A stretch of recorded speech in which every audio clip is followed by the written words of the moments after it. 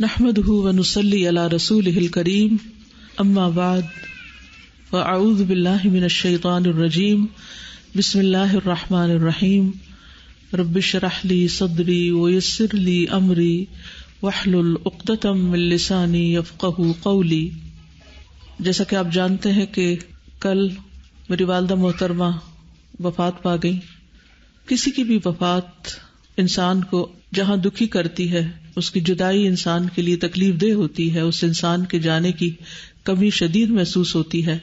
वहाँ अपनी मौत का भी ख्याल शिद्दत से आता है। ये वो वक्त होता है जब इंसान अपनी मौत को याद किए बगैर रह ही नहीं सकता। हम कितने भी इस बात से गाफिल हों, कितना भी भूले रहें, लेकिन बहरहाल हमने एक दिन इस दुनिया से जाना है। कुरान मजीद में अल्लाह ताला फरमाते हैं, कुल्लु नफ्सिन मौत। हर नफ्स को, हर जान को मौत का मज़ा चखना है। और ये भी याद रखिए कि हर एक के जाने का वक्त मुकर है। वल्लाह नफसन इदा जा अजलुहा, वल्लाह खबीर बिमा तामलून। और जब किसी का मुकर्र वक्त आ जाता है तो फिर अल्लाह उसे हरगिज मोहलत नहीं देता। और जो कुछ तुम करते हो, अल्लाह उसे बखूबी जानता है। जैसा कि आप जानते हैं कि वालदा मोहतरमा जो थी वो कई सालों से मुसलसल यहाँ एक हम्बल तालब इल्म और इल्म के मोहब्बत करने वाले इंसान की तरह तकरीबन रोज़ाना आती थी, सिवाय किसी सफ़र की वजह से या शदीद बीमारी की वजह से। छोटी मोटी तकलीफ़ और छोटी मोटी दुख दर्द तो उन्होंने कभी उसकी परवाह ही नहीं की थी। बुढ़ापा बजाते खुद एक बीमारी बन जाता है इंसान के लिए, लेकिन उन्होंने कभी इस बात को महसूस नहीं किया और अपने इल्म का सफ़र जारी रखा। बुध के दिन वो यहाँ तशरीफ़ लाई हैं और हसब मामूल उन्होंने अपनी क्लासेस अटेंड की हैं और हसब मामूल वो यहाँ से वापस गई हैं। और शाम तक, रात तक वो बिल्कुल ठीक थी। रात कुछ थोड़ी बहुत तबीयत ऊपर नीचे हुई है, लेकिन वो तो एक बुज़ुर्ग इंसान का मामूल होता है। और सुबह के वक्त उनकी तबीयत थोड़ी खराब हुई। और माशाल्लाह, जैसे आप जानते हैं तहजद गुजार भी थी और इशराक की नमाज़ की भी बहुत ज़्यादा पाबंदी करती थी। तो उनकी पोतियाँ जो थी, वो स्कूल जा रही थी तो उनको कहती हैं, जल्दी जाओ तुम लोग, देर कर रहे हो। और छोटी वाली पोती को उन्होंने अपने बैग से टॉफी निकाल के दी और उसके बाद उनके पेट में शदीद दर्द उठा। और बेसिकली वो हार्ट अटैक था अरोटा डायसेक्शन थी, जिसमें होता ही कि शारक जो होती है, दिल से निकलने वाली जो मेन रग है, जो हमारे बाकी सारे जिसम को भी फिर उसके आगे शाखें होकर खून सप्लाई करती है। तो वो ऊपर ब्रेन को भी जाती है, नीचे किडनीज तक भी जाती है तो वो सारी एक तरह से उसमें टीयर्स आगे फट गई। और ये इतना शदीद पेन होता है, इतना शदीद कि इससे सरवाइव करना उसका मुश्किल होता है। तो वो वज़ू में थी, उसी वक्त उन्होंने नमाज़ शुरू कर दी कि अगर मैंने जाना ही है तो मैं नमाज़ की हालत में जाऊँ। तो बहरहाल नमाज़ पढ़ते हुए वो गिरी हैं और उनके मुँह पे भी चोट आई और फिर बेहोश हो गई। और फिर उसके बाद कल उनकी डेथ हो गई। और ये तीन चार दिन पिछले जो थे हॉस्पिटल में मुसलसल, अल्हम्दुलिल्लाह, उनके बच्चे, उनके बच्चों के बच्चे उनके पास रहे। और मैं एक ही बात पर गौर कर रही थी कि बिल्कुल एक नॉर्मल लाइफ गुजार रही थी, वो अपने रूटीन के काम कर रही थी, आ रही थी, जा रही थी। और ये सिर्फ़ मौत का बहाना था ना मौत का वक्त लिखा था। वलई अखिर अल्लाह नफसन इदा जा अजलुहा। और उसमें भी जो घंटा जो मिनट जो सेकंड लिखे हुए थे, उसी पर ही मौत का फरिश्ता आया और वो दुनिया से रुखसत हो गई। बहरहाल, अल्लाह सुबहान तला उन पर अपनी रहमत नाजिल फरमाए। इस तकलीफ़ में, यानी कि इस अटैक के बाद स्ट्रोक के बाद, मुसलसल शदीद तकलीफ़ में थी और बीच बीच में गनूदगी आ जाती थी। लेकिन यह है कि जब भी होश आता था, और खसूस नमाजों के औकात में, हैरत की बात है, जैसे तहजद के वक्त तो रिस्पॉन्ड करने लगती थी, हाथ उठाने लगती, नमाजों के इशारे करने लगती। और फिर ये कि एक दिन पहले शाम के वक्त हाथ उठाया इस तरह। यानी पूरी तरह होश में भी नहीं थे, लेकिन हो सकता है होश में होती हूँ तो वो ऐसे हमें गले मिली। यानी हम सब आगे आगे हुए, गले मिली, सर पे हाथ फेरा। वो ये हसब मामूल जो बहुत ही मोहब्बत करने वाली और हर एक का एहसास करने वाली।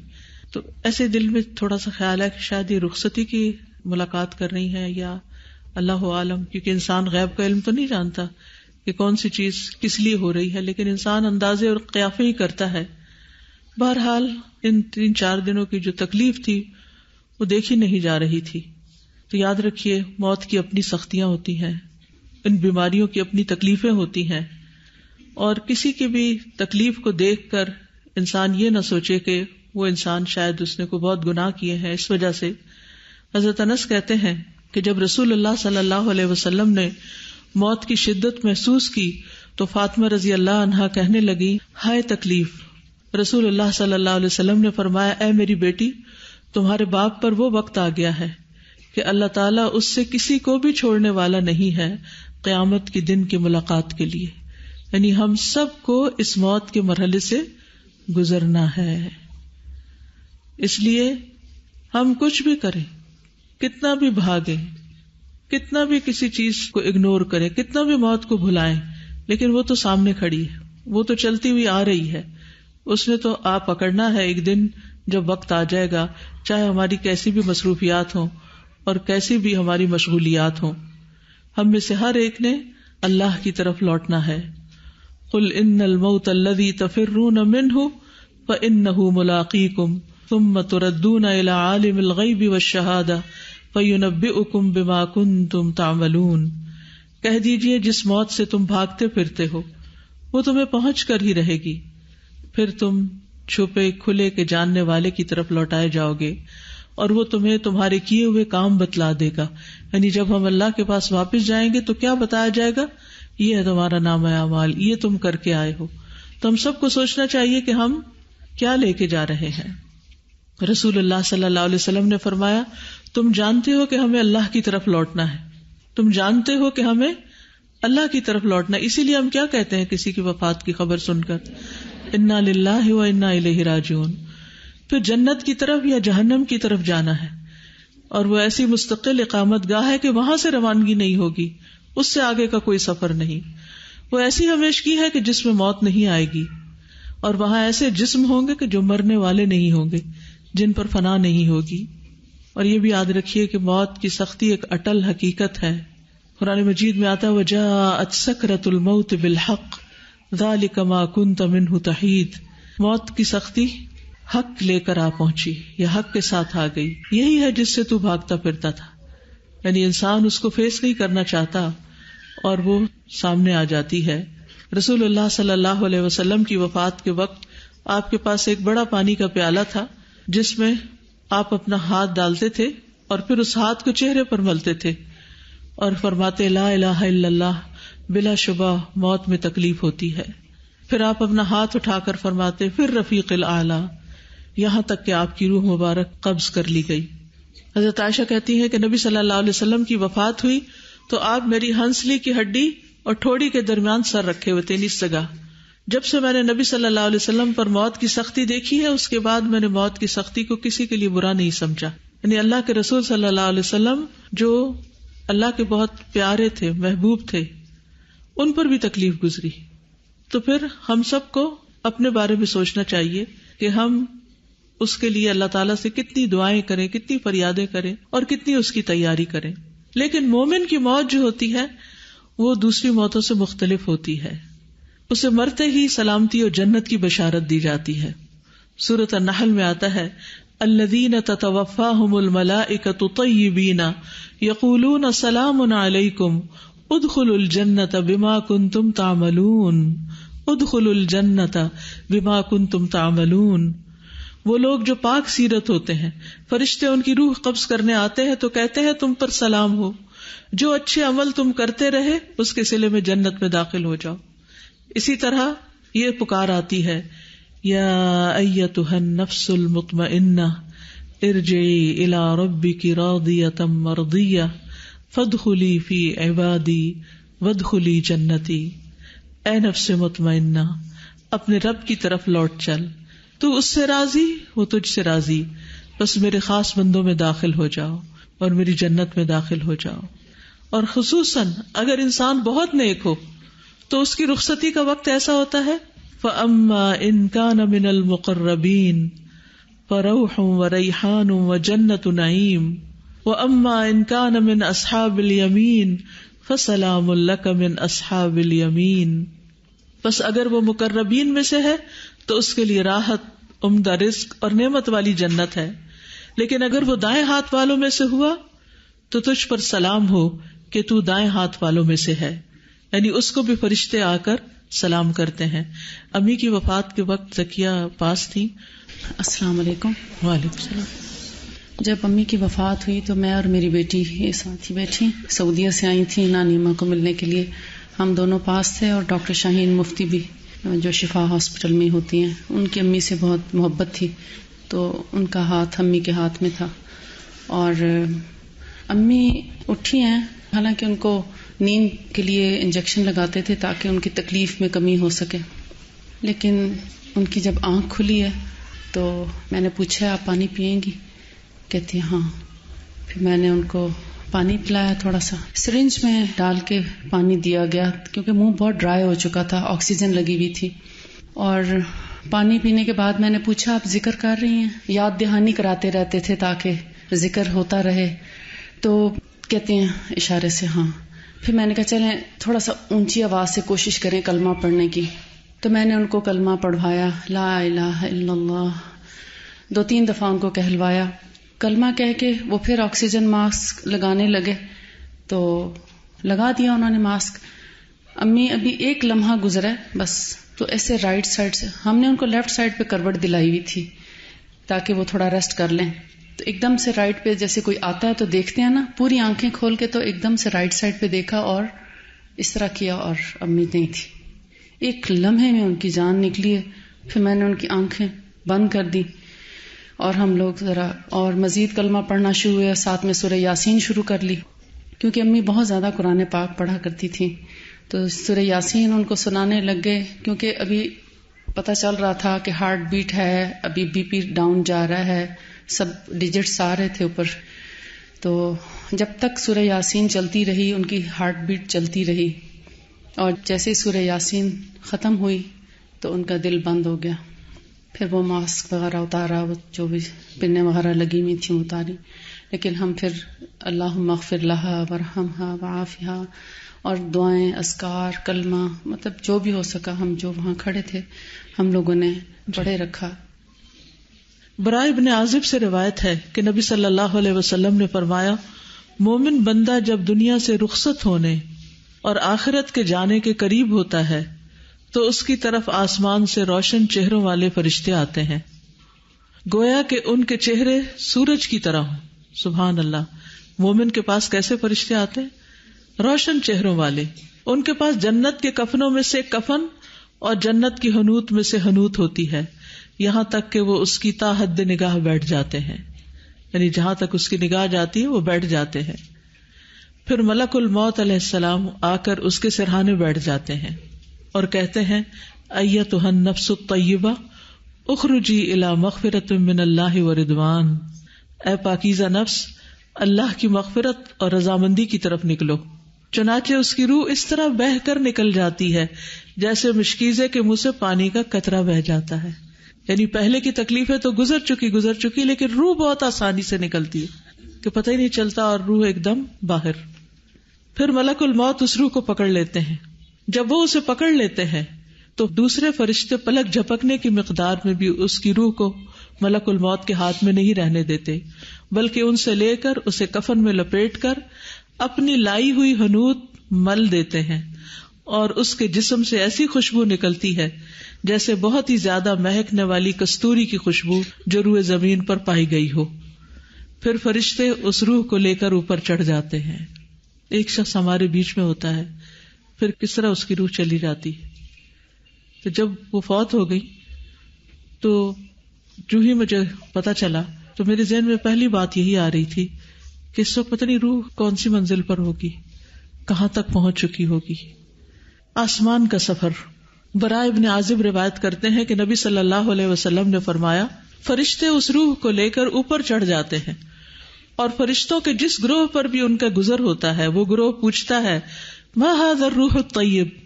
ये कितनी पाकिजा रूह है? ये किसकी रूह है? अब आप देखिए कि अगर आप ईमान की हालत में ज़िंदगी बसर करते हैं, नेक काम करते हुए बसर करते हैं तो रूह निकलती कैसे है? और फिर किस तरह उसको अच्छे कफन में लपेट कर और कितने अच्छे फरिश्ते आते हैं? और फिर किस तरह लेके जाते हैं? और रास्ते में भी जहाँ से गुजरती है, फरिश्तों के ग्रोह जो है, वो पूछते हैं ये कौन पाकिजा रूह है? लफ्ज पे गौर कीजिए, माँ हादर रूह तय्यब। वो जवाब में कहते हैं, फुला बिन फुला, ये फुला की रूह है। उसका बेहतरीन नाम बताते हैं, जिससे दुनिया में लोग उसे पुकारते थे हत्या के वो उसे लेकर आसमानी दुनिया तक पहुँच जाते हैं। वो उसके लिए दरवाज़ा खुलवाते हैं तो उनके लिए दरवाज़ा खोल दिया जाता है। तो हर आसमान के मुकर्रब फरिश्ते उसके साथ साथ चलते हैं। इस आसमान की तरफ़ जो उसके बाद आता है और इस तरह उसे सातवें आसमान तक पहुँचा दिया जाता है। ये बात मैं इसलिए दोहरा रही हूँ कि जब मौत करीब से होके गुजरती है तो उसके साथ हम इमेजिन बेहतर कर सकते हैं कि रूह और इंसान कहाँ कहाँ तक जा रहा है। आसमान वाले नेक रूह को मुसलसल मरहबा कहते रहते हैं। उसके लिए वहाँ वेलकम होता रहता है। अबू हुरैरा से मरवी है कि नबी सल्लल्लाहु अलैहि वसल्लम ने फरमाया, फरिश्ते मोमिन की रूह को आसमान की तरफ़ चढ़ा ले जाते हैं, फिर आसमान का दरवाज़ा खुलता है। पूछा जाता है, ये कौन है? कहा जाता है, फुला शख्स है। वो कहते हैं, मरहबम बिन नफ्स तय्यबा, कानत फिल जसद तय्यब, उदखुली हमीदतन, व अबशिरी बिरौहन व रैहान व रबिन गैर गदवान मरहबा, पाक नफ्स को। जो पाक बदन में थी। दाखिल हो जाओ, ए काबिल तारीफ़, और खुश हो जाओ अल्लाह की रहमत और खुशबू से, और उस रब से जो तुझ पर नाराज़ नहीं। ये है वो जुमला जो हम सब सुनना चाहते हैं, कि हमारा रब हमसे नाराज़ नहीं। बराबर उससे यही कहा जाता है, यहाँ तक कि रूह उस आसमान तक पहुँचती है, जहाँ अल्लाह अज्जा है। ऊपर तक चली जाती, आला तक और खुश शहदा की रूहें तो फिर वो अर्श के नीचे जो कंदीलें लटक रही हैं, उसमें रखी जाती है। कितना खूबसूरत है ये सफ़र। इतना दूर का सफ़र। लेकिन अगर इंसान पाकिजा ज़िंदगी गुजारे, और फिर खासतौर पर यहाँ पाकिजा जिस्म की बात की गई, तहारत का एहतमाम, सफ़ाई का एहतमाम, नमाजों का एहतमाम।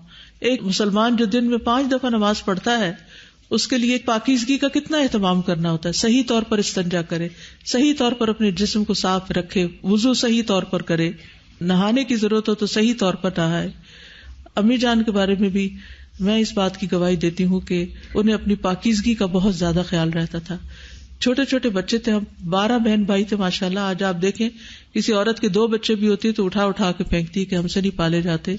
और अब तो हम बहुत मसरूफ हो गए नमाज़, रोजा, कुरान सब कुछ भूल जाता है। लेकिन हमने नहीं उनको कभी देखा कि कभी कुरान का नागा किया हो, या कभी नमाज़ छोड़ी हो।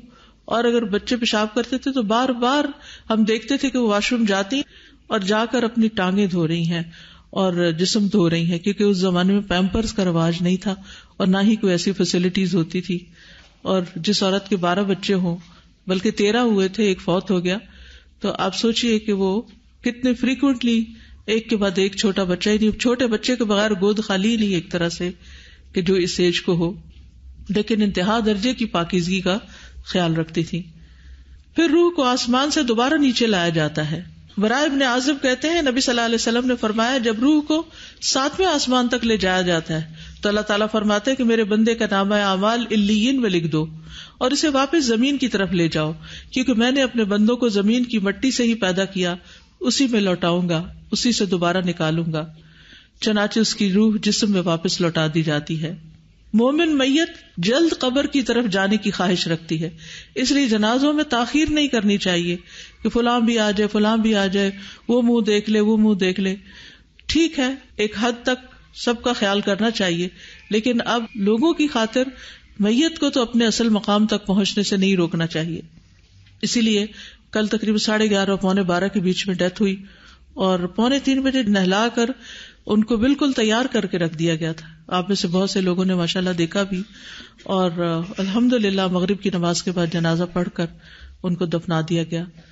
तो कोशिश यही थी कि हर चीज़ सुन्नत के मुताबिक हो और जल्द अपनी मंजिल तक पहुँचे। नबी सल्लल्लाहु अलैहि वसल्लम फरमाते थे, जब जनाजा रखा जाता है, फिर लोग उसे कांधों पर उठाते हैं। उस वक्त अगर मरने वाला नेक होता है तो कहता है, कद्दिमूनी कद्दिमूनी, मुझे जल्दी लेके चलो, मुझे जल्दी लेके चलो। जब वो दफना दिया जाता है तो बाहर वालों के कदमों की चाप सुनता है, क्योंकि रूह अब कहा है? जिसम में आ गई है। अब जिसम में रूह आ जाए वापस तो आप सोचिए इंसान अपने माहौल से एक तरह से जाग उठता है ना, कि मैं ये कहा हूँ? तो वो वक्त कैसा होगा कि जब इंसान मनो मट्टी नीचे अपने आप को फिर महसूस करे कि मैं कहा हूँ? और फिर उसके कानों में आवाज़ भी आ रही हो कि सब छोड़ के मुझे जा रहे हैं। इसलिए उस्मान बिन अफान से रिवायत है कि नबी सल्लल्लाहु अलैहि वसल्लम जब मैयत की तदफीन से फारिग हो जाते तो उसके पास कुछ देर ठहरते और फरमाते, अपने भाई के लिए मगफरत तलब करो, इसके लिए साबित कदमी की दुआ करो, क्योंकि अब उससे सवाल होगा। लेकिन अफसोस ये कि हमारे यहाँ क्या होता है? इधर जनाजा उठा, इधर हम बातों में मसरूफ हो गए, आपस की मेल मुलाकात में हम उसको एक सोशल गैदरिंग बना लेते हैं। और देर के बाद रिश्तेदार मिले होते हैं, ठीक है, मिलना है, अभी ठहर के थोड़ी देर के बाद बहुत बातें कर लें, लेकिन इस वक्त थोड़ा सा वकार और सकीनत में वक्त गुजारे, अपनी पड़ गई हमको, हम मैयत के बारे में तो कुछ सोचें, और उनके लिए तो कुछ दुआएँ करें। तो ऐसे मौके पर अगर हमें वाकई जाने वाले से मोहब्बत और प्यार हो तो हम अपनी ख्वाहिश छोड़कर पहले उसके लिए दुआ करें। और खासतौर पर जो कब्रिस्तान में मौजूद हो, वो दफनाते ही ना वहाँ से चले जाएँ। बल्कि थोड़ा सा रुकें। फिर कबर के तीन सवालों की बारी आती है। हदीस में आता है, कबर में दफन करने के बाद मैयत को कहा जाता है कि अब उठकर बैठ जाओ। तो वो बैठ जाता है। उसके लिए सूरज की शक्ल बना दी जाती है, गोया वो गुरूब होने के करीब है, यानी असर का वक्त जा रहा हो। तो उसको कहा जाता है, तुम बताओ, उस शख्स के बारे में तुम क्या कहते हो जो तुमसे पहले था? और तुम उस पर क्या गवाही देते हो? यानी नबी सल्लल्लाहु अलैहि वसल्लम के बारे में पूछा जाता है तो वो कहता है, मुझे छोड़ दो कि मैं नमाज़ पढ़ लू। ये कौन कहेगा कि मैं नमाज़ पढ़ लू? जो दुनिया में कहता है कि छोड़ो, मैं अपने काम छोड़ू और लोगों को भी एक्सक्यूज करके उठ जाता है और अपनी नमाज़ की फ़िक्र करता है। वो कहते हैं, यकीनन तुम ऐसा करोगे, पहले हमें इस बारे में खबर दो, जिसके बारे में हम तुझसे पूछ रहे हैं। बराब आजिब कहते हैं कि उन्होंने कहा कि हम रसूल अल्लाह सल्लल्लाहु अलैहि वसल्लम के साथ एक अंसारी के जनाजे में गए। हम कब्र के पास पहुँचे तो अभी लहत तैयार नहीं हुई थी। तो रसूल वसल्लम बैठ गए और हम भी आपके इर्द गिर्द बैठ गए। गोया कि हमारे सरों पर परिंदे हों। आपके हाथ में छड़ी थी। आप उससे ज़मीन कुरेद रहे थे। आपने अपना सर उठाया और फरमाया, अल्लाह से कब्र के अजाब की अमान मांगो।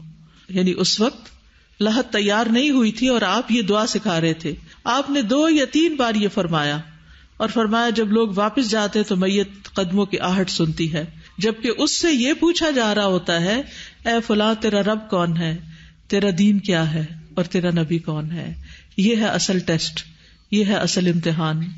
और फिर जब वो कहता है, दीनी अल इस्लाम और फिर हुआ रसूल और रब्बी अल्लाह तो फिर वो पूछते हैं, तुझे कैसे इल्म हुआ? वो कहता है करा तु किताब अल्लाह ही फ़ामन तो बिही व सदक तू मैंने अल्लाह की किताब पढ़ी, मैं इस पर ईमान लाया और उसकी तस्दीक की। तो खुशकिस्मत है आप जो अल्लाह की किताब पढ़ रहे हैं। क्योंकि अगर अल्लाह की किताब नहीं पढ़ी तो क्या पता इसमें क्या लिखा है, क्या कहती है ये, और फिर वहाँ के टेस्ट में क्या जवाब देंगे। फिर क्या होता है? एक मुनादी करने वाला ऐलान करता है, तहकीक मेरे बंदे ने सच कहा, इसे जन्नत का बिस्तर बिछा दो, इसको जन्नत का लिबास पहना दो, इसके लिए जन्नत की तरफ़ से दरवाज़ा खोल दो। अल्लाह करे कि हमारी वालदा के लिए ऐसा ही हुआ हो। फरमाया, जन्नत की तरफ़ से वहाँ की हवाएँ राहतें और खुशबुएँ आने लगती हैं और उसकी कब्र को निगाह की वसत की हद तक, यानी जहाँ तक निगाह जाती है, कब्र वसी मालूम होने लगती है, उसको वसी कर दिया जाता है। लेकिन इसके बरक्स जो जवाब न दे पाए और जो काफिर और मुनाफिक है, वो जवाब नहीं दे पाता तो फिर उस पर अंधा गुंगा फरिश्ता मुकर कर दिया जाता है, जिसके पास भारी गुर्ज होता है। उस पर इस तरह मारता है कि अगर पहाड़ पे भी मारा जाए तो मट्टी मट्टी हो जाए। फिर कब्र में नेक अमाल मोमिन की हिफाजत करते ये जो कब्र का बयान है और कब्र की बात है, मुझे अपने बचपन की सबसे पहली तालीम जो अपनी वालदा से मिली थी, मुझे वो मंजर आज तक नहीं भूला पहले जमाने में नीचे बैठ के पकाने वाले मट्टी के तेल के चूल्हे होते थे तो अम्मी बैठ के उस पर खाना पका रही थी। और मैं पास बैठी हुई थी। उनका अक्सर यही होता था कि खाना पकाते वक्त, खिलाते वक्त हम सबको नीचे ही पास बिठा लिया करती थी।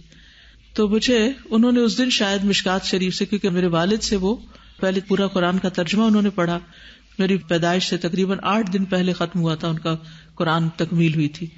फिर उसके बाद ये कि जब हमने होश संभाली तो मुसलसल उन्हें कुछ न कुछ पढ़ते हुए पाया। तो उन्होंने शायद कबर का बयान पढ़ा था।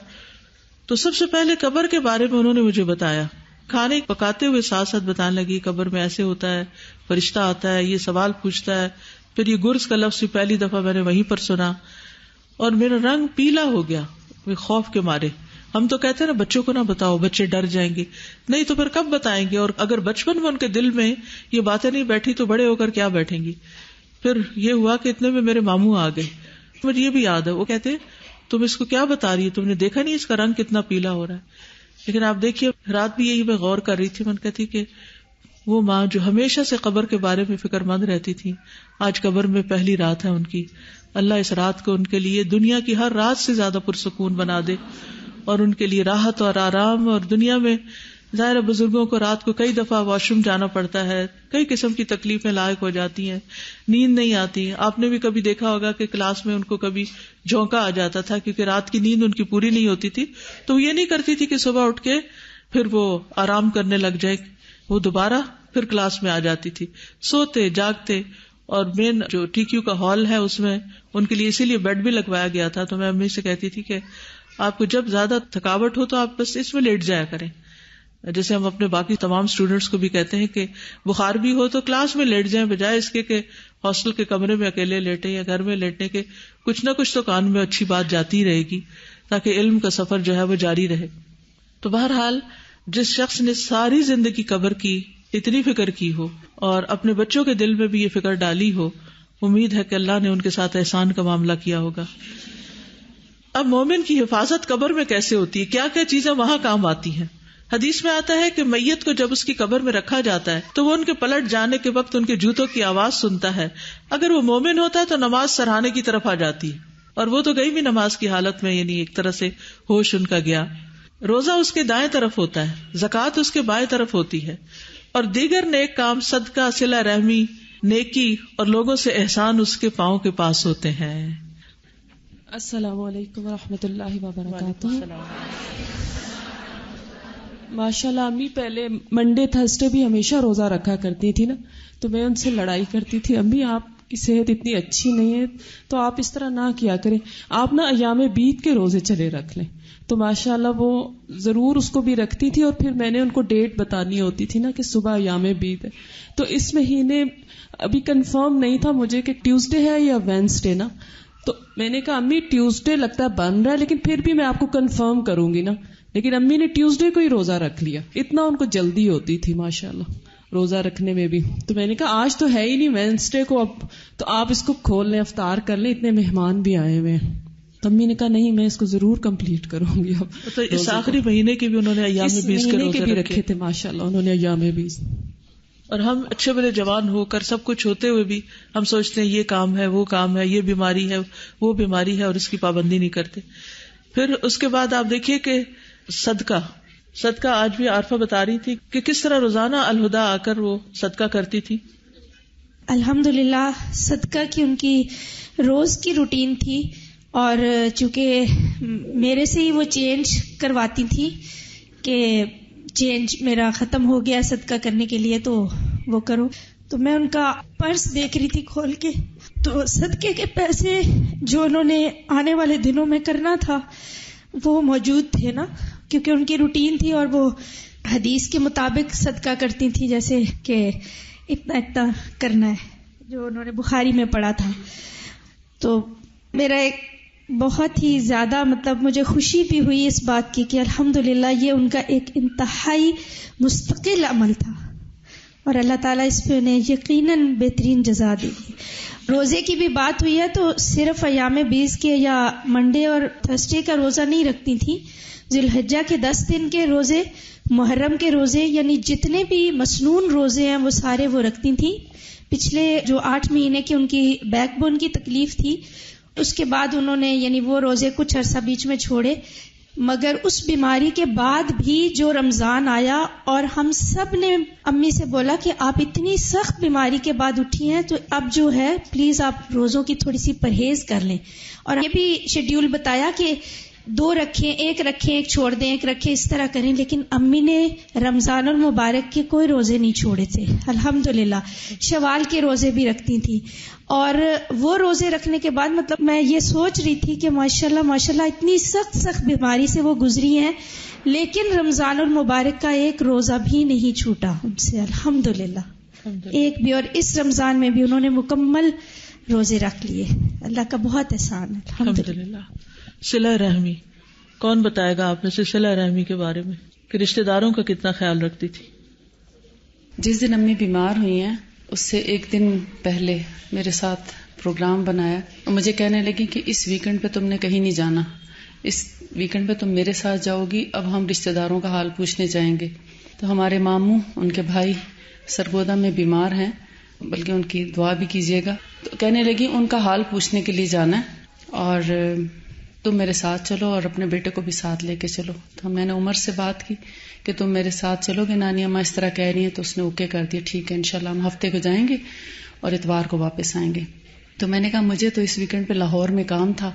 तो कहने लगी, कोई बात नहीं, लाहौर भी बल्कि जाएँगे। दो उनके दिल में बातें थी। एक तो ये कि निगत बाजी के जो मदर इन लॉ हैं, सास, वो बीमार हैं। उनको इतनी तकलीफ़ है कि वो अपने होशो हवास में नहीं हैं। तो कहने लगी, उनको तो नहीं पता चलेगा कि हम आए हैं, लेकिन अल्लाह तो राज़ी हो जाएगा कि हमने अपने रिश्तेदारों का ख्याल रखा। और फिर उनको एक बात ये भी थी कि चूँकि आपकी क्लासेस हो रही थी लाहौर में तो चलो इसी बहाने क्लास में भी हो आएँगे। लाहौर की क्लास भी अटेंड कर आएँगे। क्लास में आने का भी बहुत शौक होता था। तो इस तरह वो अपने जितने गरीब रिश्तेदार हैं, उन सब का उनके पास लिस्ट बनी हुई थी। और उन सब का वो ख्याल करती थी। जितना वो खुद कर सकती थी वो खुद करती थी और जहाँ वो खुद नहीं कर सकती थी तो वो हमें भी शामिल कर लेती थी। कभी कभी हमसे भी कहती सबको बताती थी हम सबको बताती थी कि फलां के साथ ये मसला है उसके बच्चे की फ़ीस देनी है उसकी ज़रूरत पूरी करनी है वो बीमार है उसका ख्याल करना है वो बहुत तकलीफ़ में है उनके मसाइल आजकल ऐसे हो गए हैं। तो यानी हमारी इमीडिएट फैमिली से हटकर अपने दूर दराज के भी जो हमारे फैमिली मेंबर्स हैं सबका एक एक का उनका ख्याल होता था कि वो किस हाल में है और उनकी कैसे मदद करनी चाहिए और किस तरह करें। तो माली मुश्किल हों या उनके लिए कपड़ों का इंतज़ाम उनके लिए दवाओं का उनकी जिस भी चीज़ की ज़रूरत होती थी वो हमेशा ऑपरेशन कोशिश में रहती थी। किसी का ऑपरेशन ऑपरेशन है। किसी को इलाज के लिए ज़रूरत है या किसी का बच्चा पैदा होने वाला है या किसी के साथ कोई और मसला हो गया तो हर एक के दुख दर्द का उनको ख्याल होता था और हर एक के बारे में वो पूरी तरह आगाह रहती थी अल्लाह ताला। बल्कि मेरा सोर्स ऑफ़ इन्फॉर्मेशन वही थी। मैं जब इधर उधर सफ़र पर होती थी तो मैं जिस वक्त भी कॉल करती सारों का ए टू जी सबका हाल पूछती फुला कैसे? क्योंकि मुझे पता होता था इनके पास सबकी इन्फॉर्मेशन मैं अलग अलग अलग, माशाल्लाह, बारह बहन भाई हैं, हम तो हर एक को कॉल करना और बाजू का आगे से कोई मिलता नहीं तो पता ही नहीं चलता कि उसका हाल क्या है। तो अम्मी से पूछ के तसली हो जाती थी कि सबकी खबर मिल गई। तो एक सुकून आ जाता था कि सब ठीक है। या अगर कोई मसला मसाइल है तो उसके लिए कोई कोशिश या दुआ या जो भी करनी है। और फिर नमाज़ तो नमाज़ में सिर्फ़ फ़र्ज़ नमाजें नहीं, बल्कि फौजी शायद बता रही थी कि जुमा वो उनके साथ पढ़ा करती थी। फिर उसके बाद ये कि तहजद की नमाज़ तमिया रात के वक्त उनके पास होती थी। असलकुम रात के वक्त मैं उनके पास तीन रातें मैंने उनके साथ गुजारी अलहमदिल्ला तो यही होता था कि जैसे ही वो जागती थी या इवन सो रही होती थी तो मैं या तो तिलावत करती थी या असकार पढ़ती थी। तो दूसरी रात मैंने नोट किया कि तकरीबन साढ़े चार, पाँच बजे कि मैं तस्बीहात पढ़ रही थी और जब मैंने पढ़ना शुरू किया अल्लाह हमद अंतक़यमसमावाती वल अर्दी व मनफी हिन तो वो एकदम से अलर्ट हो गई और दुआ में आता है कि अंतल हक व वारदुकल हक तो जब मैं हक पढ़ती थी तो वो भी यानी उनका मुँह हिलता था साथ साथ तो फिर मैंने तहजद की यानी मुझे एकदम से ख्याल है कि तहजद का वक्त है तो मैंने सुराल इमरान की आखिरी आयात पढ़ना शुरू की तो बहुत सुन रही थी वो फिर हाथ उठाती थी जैसे दुआ पढ़ रही हूँ तो जब मैंने मुकम्मल की तिलावत आयात की तो उन्होंने ऐसे हाथ ऊपर किए जैसे नमाज़ पढ़ रही है। तो मेरे मामू ने कहा कि नमाज़ पढ़ो। तो मैंने पढ़ना शुरू कर दी। मैंने अल्लाह अकबर कही दुआ इस्ताह पढ़ी। तो उनका हाथ बंदे रहे मुसलसल। फिर सूर्य फातिहा पढ़ी थोड़ी सी तिलावत की। तो माशाल्लाह, यानी वो हाथ उनके चेस्ट पे ही रहे। फिर मुझे तो बिल्कुल ऐसे लग रहा था कि जैसे लगे हुए थे जी दोनों हाथों पे आईवी की लगी हुई थी और मगर उन्होंने ऐसे मुझे लग रहा था कि तहजद पढ़ी है उन्होंने। फिर फजर के वक्त भी उन्होंने मेरी कज़न आला उसने फजर की नमाज़ उनको पढ़ाई। दो रकत उसने नमाज़ पढ़ाई उनको और फिर थोड़ी देर के बाद मेरी मुमानी आई थी तो कुछ कह रही थी नानी मत मुझे समझ नहीं आ रही थी तो फिर मेरी मुमानी ने समझा कि वो कह रही है अजान हो गई है। अजान हो गई है तो हमने कहा कि अम्मी जी आपने नमाज़ पढ़ ली है। तो उनको नमाज़ की ही फ़िक्र थी मुसलसल। वो मानी मरी आप कोई बात शेयर करना चाहे? अस्सलाम वालेकुम रहमतुल्लाहि वबरकातुहू। वालेकुम अस्सलाम वरहमतुल्लाहि। वबरकातुहू अम्मी जैसा मैंने शफीक कोई हस्ती नहीं देखी हालाँकि मेरी सास थी लेकिन बहुत ही शफकत और हर वक्त उनकी जो मोहब्बत थी वो हमें महसूस होती थी और बहुत ही प्यार से उन्होंने हमें रखा, बल्कि बाद सब हमें ये सोचती हूँ कि जितना उनमें सब्र था कि, क्योंकि जब शादियाँ होके जाती हैं छोटी लड़कियाँ और कभी देर से उठ रहे हैं या कुछ, कभी उन्होंने हमें झिड़का नहीं या कोई एतराज़ नहीं किया था। और मुझे, अब जैसे जैसे मेरी उम्र बढ़ रही है, मैं उस चीज़ को बहुत अप्रिशिएट करती हूँ, क्योंकि कोई इल फीलिंग्स नहीं थी। यानी कि मुझे उनकी तरफ़ से बिल्कुल भी नहीं कि कभी उन्होंने मुझे डांटा हो या कोई एतराज़ किया हो। बल्कि हर वक्त उनको यही होता था कि किस तरह मैं मदद कर सकूँ। हम लोग डेनमार्क में थे और वो हमें विज़िट करने आई। कुछ मेहमानदारी होती थी या कुछ ऊपर नीचे मेहमानदारी हुई। मुझे याद है कि मैं बर्तन धो रही थी और मैं साथ साथ रो रही थी। तो मेरे पास आके खड़ी हो गई कि तो उन्होंने कहा प्लीज़ तुम बैठ जाओ मैं बर्तन धोते देती हूँ। लेकिन मुझे अभी तक वो याद है उनकी वो हर बात उनकी हर हलवा बहुत अच्छा बनाती थी और मरियम हाँ। को हलवा पसंद था। मेरी शादी हुई और मुझे इतनी मोहब्बत से उन्होंने अपने पास बिठाना और साथ ही वो चूल्हे के साथ ही मेरी पीढ़ी रखते नहीं हालाँकि मुझे करने चाहिए थे जो काम उन्होंने कभी ये नहीं कहा या कोई उनकी एक्सपेक्टेशंस नहीं थी हमसे। उनको बस ये था कि मैं क्या दे सकती हूँ। और हमारी दुआ ये है कि हम उनकी तरह ग्रो करें कि हम अपने बच्चों से भी कोई एक्सपेक्टेशंस ना हो किसी से ना हो बस ये हो कि हम क्या दे सकते हैं उनको। बस अल्लाह ताला उनकी हर चीज़ को कबूल कर कबूल कर ले। जी अस्सलाम वालेकुम। काफ़ी अरसे से मेरी कोशिश होती थी कि जुमे के दिन अम्मी जी के साथ कुर्सी रखूँ और उनके साथ मतलब उनके साथ हो मेरा जुमा तो एक तो सर्दियाँ जब आईं तो मैं देखती थी कि बेचारी उनका वज़ू जैसे बार बार उन्हें वॉशरूम जाना पड़ता था। तो इस कोने से वो तेज़ी से जाती थी और वज़ू करके फिर दोबारा से आती थी। तो मैंने उन्हें कहा, आप सॉक्स पहन लिया करें। तो कहती हूँ, मेरे पाँव जलते हैं। तो वो सर्दियों में उनका ये होता था कि वज़ू के लिए उनको बार बार जाना होता था, लेकिन जुमे के लिए पूरी अलर्ट तो फिर मैं उन्हें इतर लगाती होती थी। तो बड़ी आगे से मुझे बड़ी स्माइल देती थी। तो मेरा बड़ा दिल खुश होता था।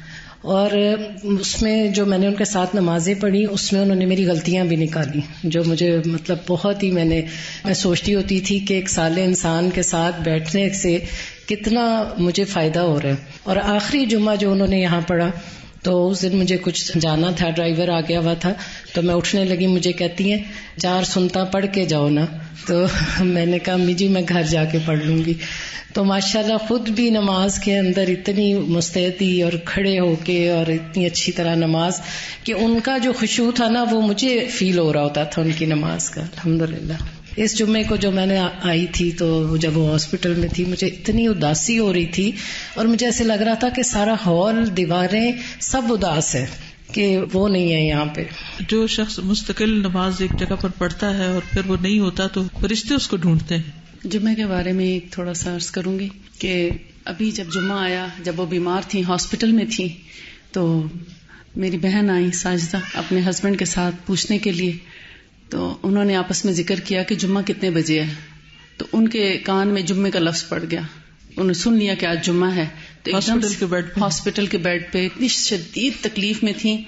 इसके बावजूद एकदम से आँखें पूरी तरह खोली और अलर्ट हो गई कि अच्छा जुम्मा है। और एक लम्हे के बाद उन्होंने फिर नमाज़ शुरू कर दी। अपनी तरफ़ से वो जुम्मा पढ़ रही थी। तो वो पूरे इशारे किए। उसके बाद रकू सजदे का और फिर सलाम फेरने का पूरा इशारा किया। उसके बाद भी कुछ पढ़ रही थी तो फिर मैंने थोड़ी देर बाद पूछा, मुझे आपने नमाज़ पढ़ ली? तो कहती है हाँ बस चार फ़र्ज़ पढ़े हैं। लेकिन उन इतना एहतमाम करती थी, अल्लाह ताला हमें भी तोहफी कता तो बात ये हो रही थी कि इंसान जो नेक अमल करता है, सदका सिला रहमी नेकी और लोगों से एहसान उसके दोनों पाओं के पास होते हैं, यानी कब्र में उसकी हिफाजत करते हैं। सर के पास से कोई चीज़ आने लगती है तो नमाज़ कहती है, मेरी तरफ़ से आने का रास्ता नहीं। दाएँ तरफ़ से कोई चीज़ आने लगती है तो रोजा कहता है, मेरी तरफ़ से आने का रास्ता नहीं। बाएँ तरफ़ से आया जाता है तो जक़ात कहती है, मेरी तरफ़ से आने का रास्ता नहीं। फिर दोनों पाओ की तरफ़ से कोई चीज़ आने लगती है तो नेक अमाल, सदका, सिला रहमी और लोगों से अच्छा सलूक, वो कहता है कि मेरी तरफ़ आने का कोई रास्ता नहीं। तबरानी की रिवायत में है, आदमी के पास उसकी कब्र में आया जाता है। बस उसके सरहाने की तरफ़ से आया जाता है तो उसको कुरान की तिलावत धकेल देती है। अब ये नमाज़ के अलावा कुरान की तिलावत आपको मालूम होगा कि वो रोज़ाना कितना कुरान पढ़ती थी। जी साइदा अपनी इंस्पिरेशन भी बताओ। अस्सलाम वालेकुम रहमतुल्लाहि व बरकातहू मुझे एक एक चीज़ इसलिए भी आजकल अम्मी जान से ज़्यादा जरा ताल्लुक इस तरह से रहा कि मेरी मदर इन लॉ का इंतकाल हुआ। तो उस पे हालाँकि अयाम बीस के रोज़े थे आके बैठी रहती थी हर चीज़ सुनती थी और मैं कहती थी लेट जाए लेटती नहीं थी। बैठी पढ़ती रहती थी, मुलाकात करती थी। तो उसमें छोटी बहन ने ज़िक्र किया कि आपकी सास का इंतकाल तो बिल्कुल ऐसे हुआ जैसे नबी सल्लल्लाहु अलैहि वसल्लम का, कि बुध वाले दिन तकलीफ़ शुरू हुई और पीर को इंतकाल हुआ। बस ये बात उन्होंने सुन ली और फिर उसके बाद ये कहना शुरू होगी मैंने भी सुन्नत के मुताबिक मरना है। और एग्जैक्टली जिस तरह मेरी mother in law go through हुई, उसी तरह से जैसे लगता है उन्होंने उस वक्त दुआ की और अल्लाह सुबहाना हुआ ताला ने वो कबूल कर ली। और हम बहनों, दोनों को ये था कि इन्होंने ना पीर को चले जाना है। यानी दिल में था। अब मैं शुरू से सबको ऐसे बता रही थी कि ऐसा देखो, हो सकता है। तो बहरहाल, एक तो ये बहुत ज़्यादा शौक। मैं बचपन से सुनती आती थी कि अम्मी जी ना सुबह सुबह अगर कोई चीज़ होती, हाय मेरी मंजिल रह गई मेरी मंजिल रह गई।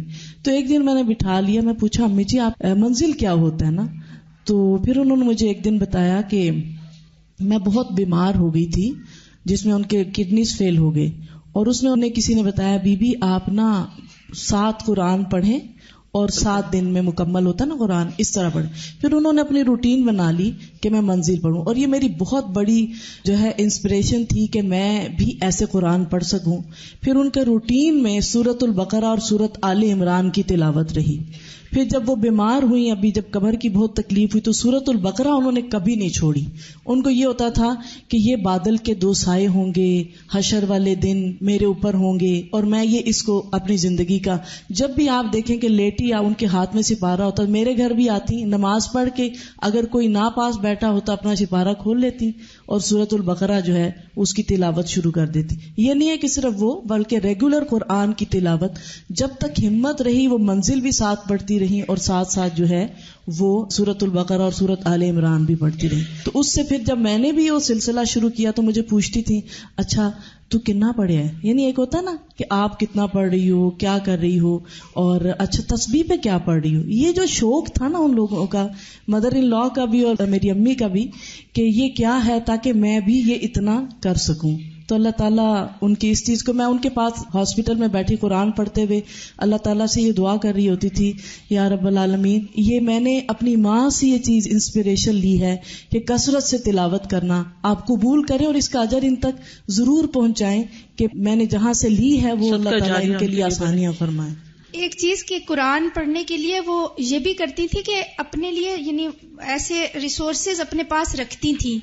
जैसे सूर्य अल बकरा और सूर्य आल इमरान को उन्होंने महबूब भाई से स्पेशली कह के एक बाइंडिंग करवाई हुई थी कि ये मेरे पास इकट्ठी रहे। और वो अभी पिछले हफ़्ते में मेरे साथ गाड़ी पे आते हुए मुझसे कहती हैं कि ये ना काफ़ी हूँ ना यानी ये खराब हो गई है। थोड़ा यानी इसका पुराना पुराना लगता है। मैं कई जगहों पे साथ ले जाती हूँ तो मैं महबूब नु कहना है कि जरा मैंने दोबारा करवा दे ना। तो मैंने एकदम से कहा, मैंने कहा, अम्मी, ये वाली जो है ना, ये मुझे दे दीजिएगा ना। तो कहती है अच्छा तेरा दिल करता है पढ़न ते मैंने कहा, जी इन ताला, कोशिश करेंगे कि हम भी ये अमल कर सके। तो ये एक होती है कि वो हर वक्त यानी वो चीज़ें उन्हें अपनी रिन्यू करने की भी तमन्ना रहती थी। कि जो वो अमल किया करती थी। अच्छा उनके ना दराज मैंने बनाए हुए थे कि उसमें किताबें रख के बुखारी, फिकुल कुलूब, भारी भारी किताबें तो वो कहती थी, आप इतना भारी बैग उठा के ले जाती हैं तो कुछ किताबें इधर ही छोड़ दिया करें। नोट्स की कापियाँ पड़ी हुई थी, लिखे हुए भरी हुई। और कुरानी और मसनून दुआओं की किताब मैंने देखी तो वो पुरानी हो चुकी। मैंने कहा, या अल्लाह, ये इतनी पढ़ी गई है। यानी कभी मैंने किसी की किताब इस तरह पुरानी नहीं देखी कि वो पढ़ पढ़ के पुरानी हो गई हो। तो तैमिया कहती कि जब मैं रात को वो अस्कार पढ़ती थी उनकी ये दुआएँ पढ़ती थी तो वो एक तरह से रिस्पॉन्ड करती थी यानी कि उनको समझ आ रही होती थी कि क्या पढ़ा जा रहा है। यानी अगर इंसान को दुआ पढ़ने की आदत और मीनिंग भी पता हो तो ही इंसान उनको पढ़ सकता है। निकत आप भी कुछ कहें? अस्सलाम वालेकुम रहमतुल्लाहि अम्मी की बहुत सारी बातें तो अल्हम्दुलिल्लाह आपको पता चली। मैं एक ऐसे पहलू की तरफ़ ज़रूर तवज्जो दिलाना चाहती हूँ कि किस तरह से वो शौक और रगबत दिलाती थी मुस्तकिल इल्म हासिल करने के लिए, मुस्तकिल काम करने के लिए, और किस तरह से अपने काम पर जो मान होता है ना इंसान को, डबोता तो वही मान है ना इंसान को तो अम्मी उस मान को खत्म करने के लिए कैसे काम करती थी? मैं बहुत छोटी थी तो मुझे कहती थी कि जब आप पैदा होने वाली थी तो कोई साहब आए थे हमारे पास और उन्होंने कहा था कि आपकी ये बेटी जो है वो बहुत ज़्यादा लिखने पढ़ने का काम बहुत करेगी। तो मुझे उस वक्त समझ नहीं आती थी कि अच्छा सारे ही लिखते पढ़ते हैं तो मैंने कौन सा कोई अलग लिख पढ़ लेना है? अच्छा हम लोग आपस में भी जब काम करते थे तो मैं जब इब्तदा में बाजी, आप और मैं, हमारा तख्तियाँ लिखने का मुकाबला होता था तो उस वक्त मुझे लगता था शायद ये नहीं कि यही लिखने पढ़ने का काम होगा।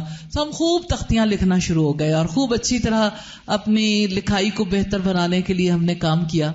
तो मुझे लगा कि शायद यानी यही काम है। लेकिन जब मैं बड़ी हुई तो वो मुझे कभी ये मैसेज देने से नहीं रुकती थी कि देखो, मैंने तो ये सुना था कि तुमने काफ़ी पढ़ने लिखने का काम करना है। तो यानी वो इंतज़ार में उन्होंने मुझे लगा दिया कि अच्छा वो कौन सा वक्त होगा?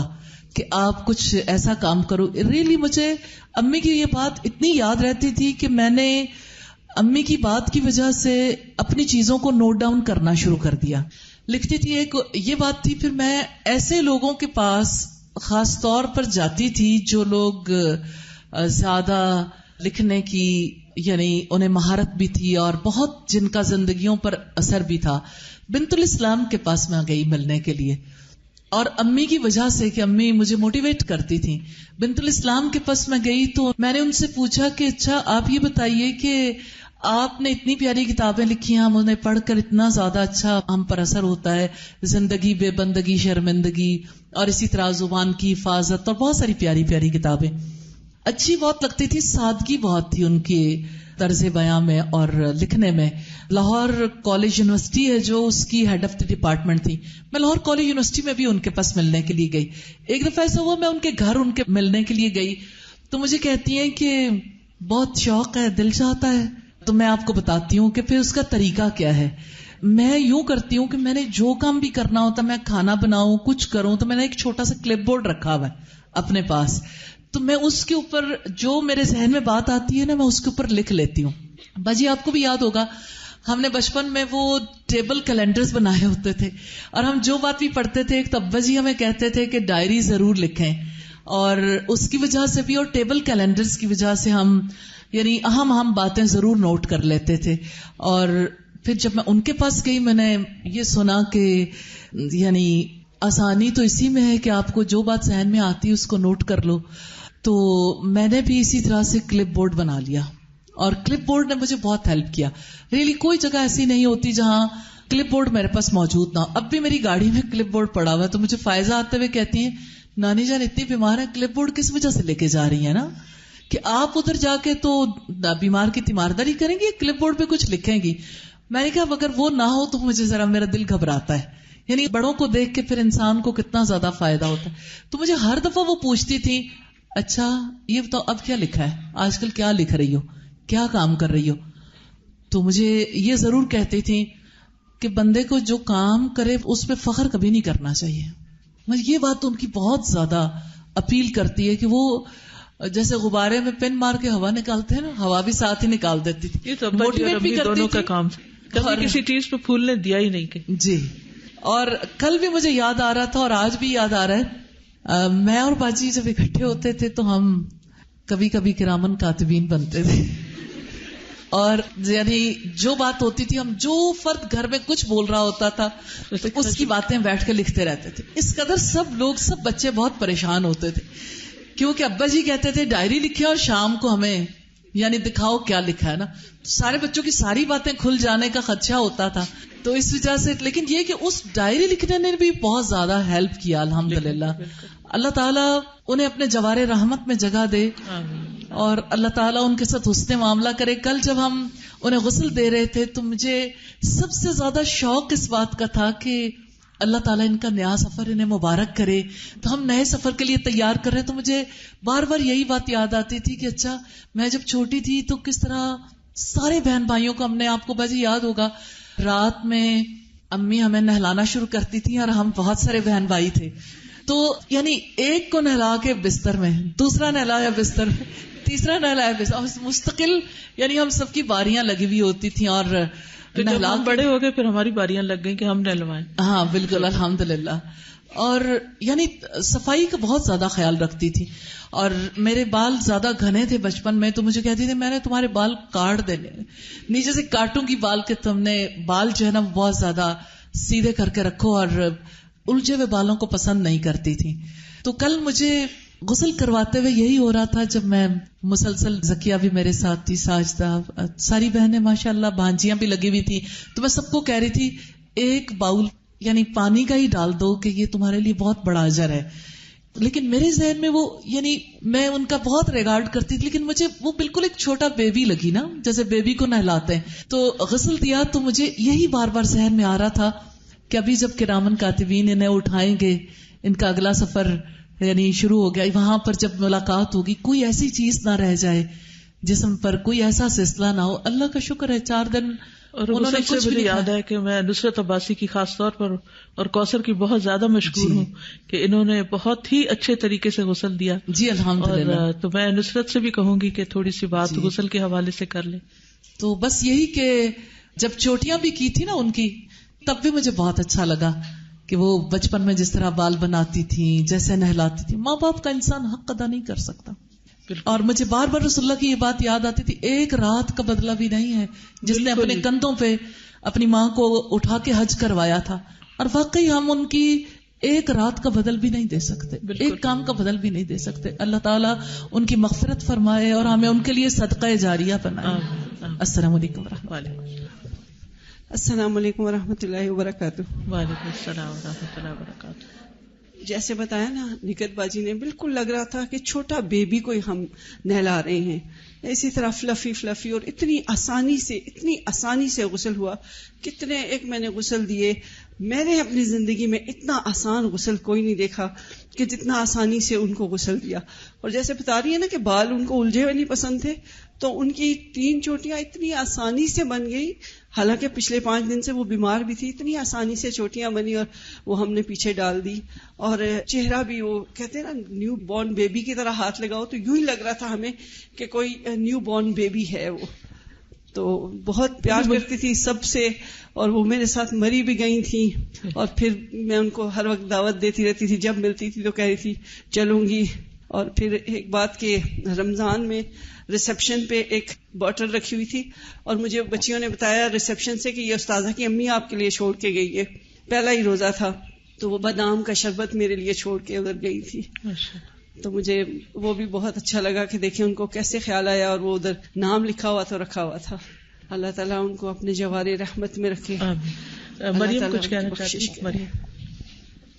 अस्सलाम वालेकुम रहमतुल्लाहि वबरकातुहू नानी अम्मा की मैं पहली नवासी हूँ I was the first grandchild और um, मामा जब uh, गई थी पीएचडी करने तो हमें नानी अम्मा के पास छोड़ के गई थी तो she was like our mother और चार साल इन तीन बच्चों को माशाल्लाह रखा है उन्होंने। अभी जैसे बारह बच्चों की बात हो रही थी तो तीन हम भी थे साथ।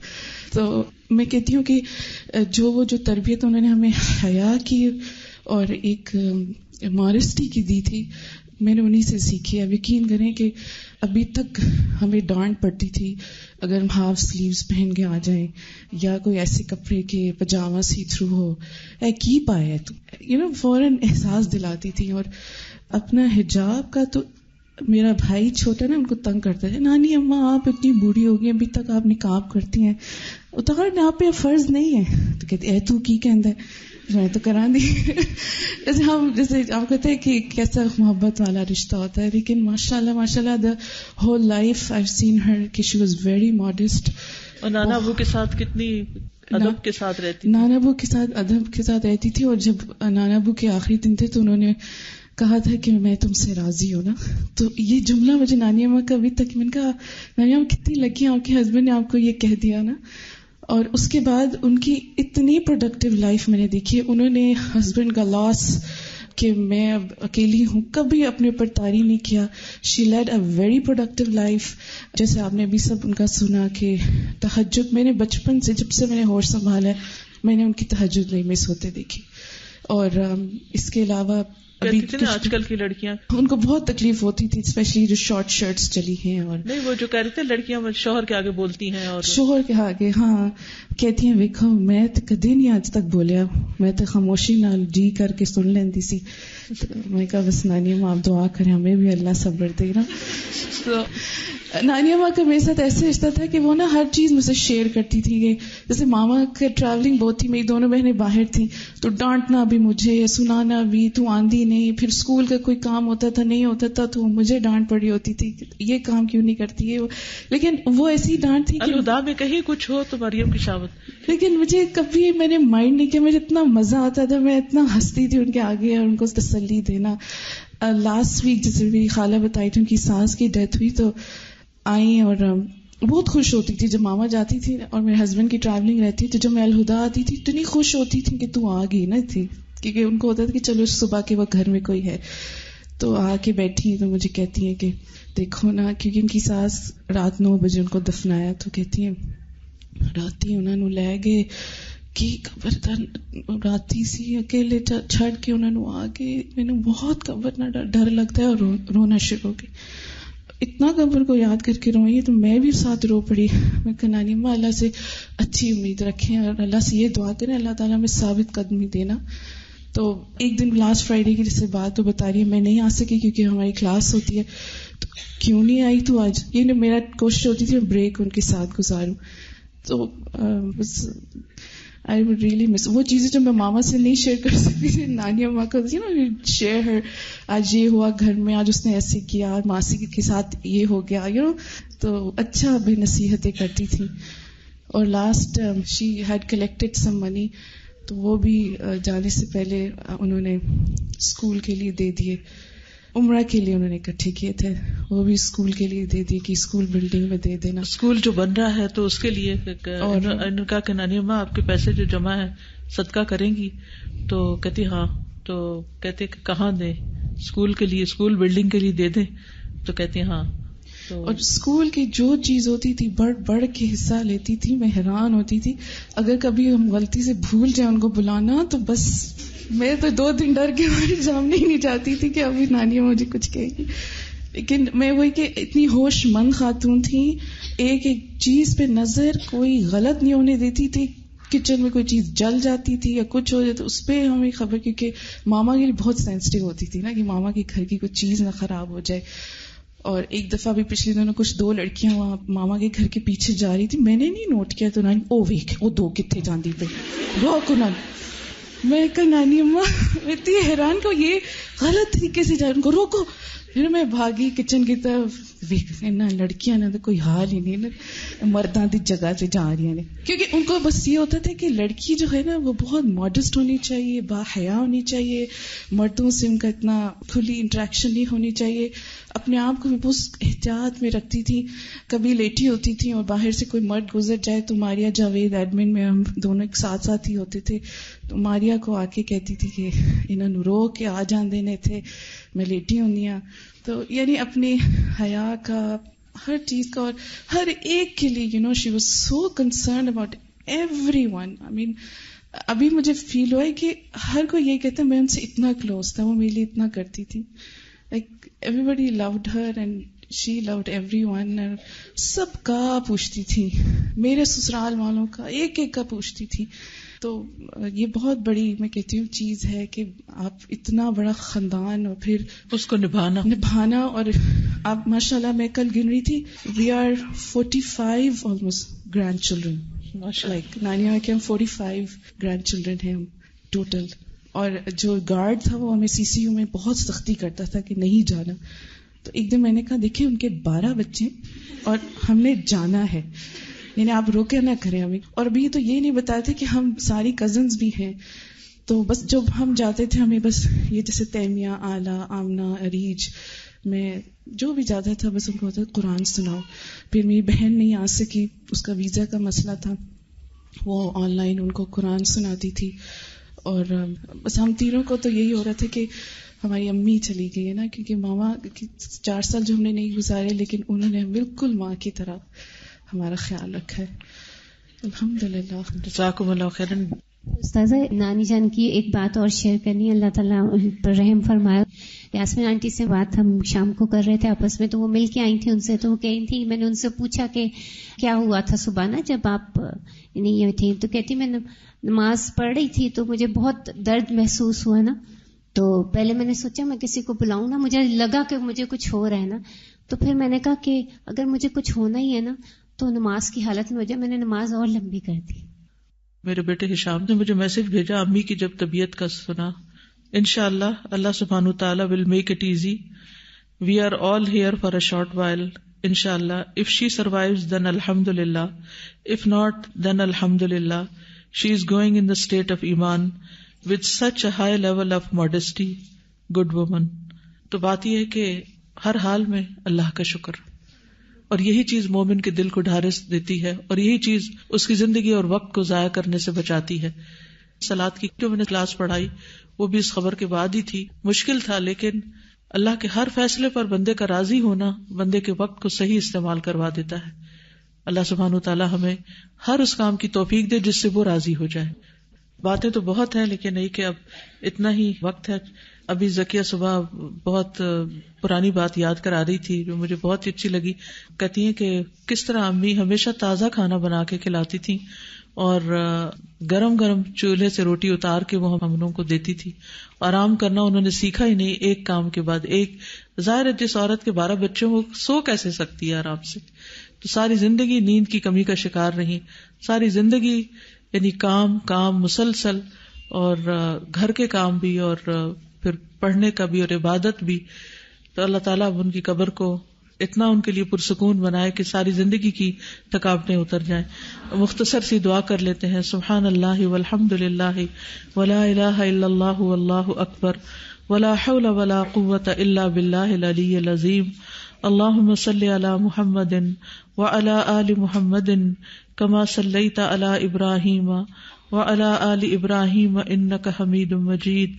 अल्लाहुम्म बारिक अला मुहम्मदिन व अला आलि मुहम्मदिन कमा बारकता अला इब्राहीम व अला आलि इब्राहीम इन्नक हमीदुम मजीद अल्लाहुम्म इग़फिर लहा अल्लाहुम्म इग़फिर लहा अल्लाहुम्म इग़फिर लहा वरहमहा वरहमहा वरहमहा वआफिहा वआफिहा वआफिहा वाफ़ अनहा वाफ़ अनहा वाफ़ अनहा वअकरिम नुजुलहा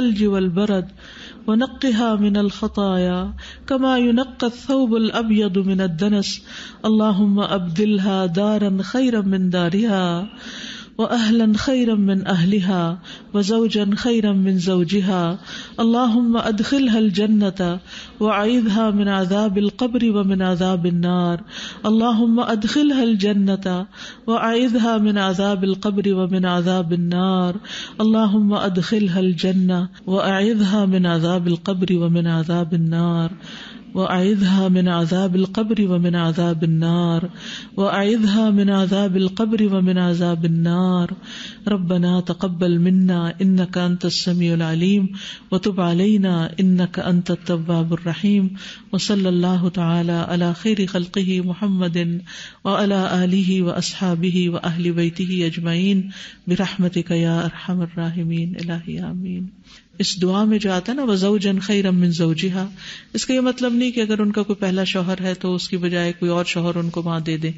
जैसा कि आप जानते हैं कि जब रूह जाती है इल्लीन में तो वहाँ जो पहले से गई हुई खलकुर रूह पड़ी थी ना फिकुलकुलूब में, वहाँ आपको याद होगा कि ये सारा मसला अच्छी तरह वाजे हुआ था हदीस की रूह से कि पहले से जो रूहें वहाँ होती हैं, जैसे मेरे वालिद की वफात हुई है तो जो बाद में नेक रूह जाती है, वो पहले वालों से जाके मुलाकात करती।